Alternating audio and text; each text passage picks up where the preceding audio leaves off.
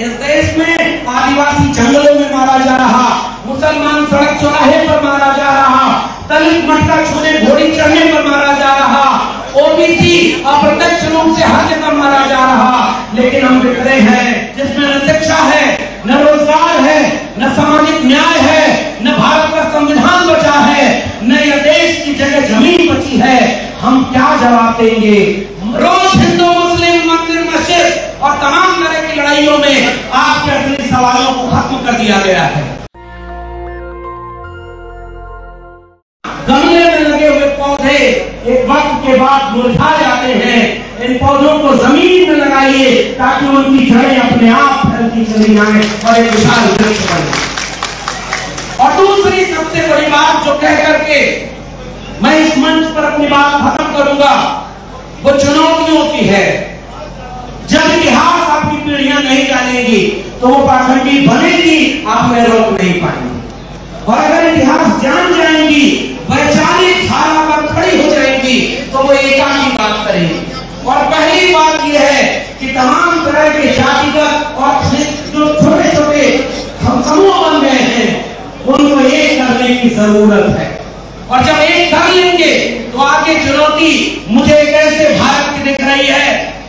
जैसे सांप्रदायिकता की आग में जलाया जा रहा है रोज हिंदू मुस्लिम मंदिर मस्जिद और तमाम तरह की लड़ाइयों में आपके अपने सवालों को खत्म कर दिया गया है।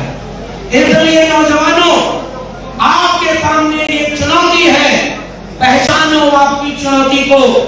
याद करो तथा बुद्ध से लेकर भिखा, बुल्ले शाह बाबा फरीद, नारायण गुरु बसवन्ना मेला से होते हुए, Mahatma Jyotirao Govindrao Phule E Ramaswamy Periyar Shahu ji Maharaj, doctor Ambedkar doctor Lohia मानव कांशीराम और मंडल की लड़ाई मंदिर मस्जिद की लड़ाई नहीं, कलम और किताब की लड़ाई थी, वो आज खतरे में है। इसलिए ऐसे सम्मेलनों में अगर आप छुटते हैं, और बंदे साहब का तो मैं शुक्रिया अदा करूँगा कि उन्होंने एक ऐसा गुलदस्ता सजाया है मंच पर, जिसमें तमाम हो जिसमें न शिक्षा है, न रोज़गार है, न सामाजिक न्याय है, न भारत का संविधान बचा है, न यह देश की जगह ज़मीन बची है। हम क्या जवाब देंगे मैं आपसे गुजारिश करके अपनी बात खत्म कर रहा हूँ कि इस देश में अब एक क्रांति की ज़रूरत है। बिना क्रांति के कोई बदलाव आने की ज़रूरत नहीं। और आखिरी बात, वो क्रांति विचारधारा से होगी। तथागत बुद्ध को याद करने वालों, अहिंसा और सत्य की बात प्रज्ञाशील करुणा की बात, आओ घर घर ले चले।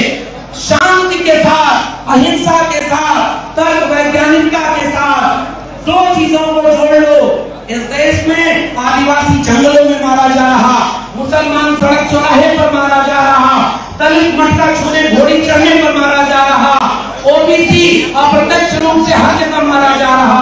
लेकिन हम बिखरे हैं, हमने जितने लोग संगठन बना रखे हैं, आओ मिलकर उम्मीद बांधे, जो नारा डॉक्टर मनोहर भैया का था, कि संसोपा ने बांधी गांठ पिछड़ा पावे सौ में साठ। उस नारे को महामना राम सरोवर में जगदेव बाबू ने आगे बढ़ाया सौ में नब्बे शोषित हैं, शोषितों ने ललकारा है।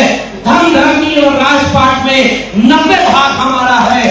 उस आंदोलन को, उस लड़ाई को, धन, धर्मी, राजपाट के रोटी स्वाभिमान के दवाई, पढ़ाई, कमाई, सिंचाई के मुद्दे पर भारत के संविधान और मंडल कमीशन को बचाने के लिए घर में चले, एक आंदोलन खड़ा करें, तब जाकर के इस तरह के सम्मेलनों की सार्थकता होगी। आपने मुझे सुना बहुत बहुत धन्यवाद। जय भीम, जय मंडल संविधान जिंदाबाद गुलाम जिंदाबाद, इनकलाब जिंदाबाद। नेशनल दस्तक की आपसे गुजारिश है कि अगर इसको बचाना चाहते हैं तो नेशनल दस्तक को सब्सक्राइब करने के लिए रेड कलर के सब्सक्राइब बटन को दबाएँ, फिर बेल आइकन की घंटी दबाएँ।